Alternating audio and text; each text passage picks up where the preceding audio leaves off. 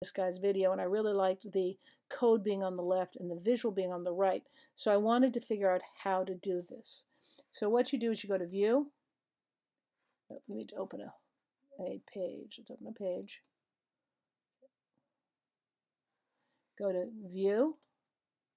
We go to um, view mode, uh, switch views, what was it, split, split, split hard. Oh, you need to have it, you need to have it in the split. Okay, there we go. So I, I went into view split mode and I split it vertically with the live view on the left.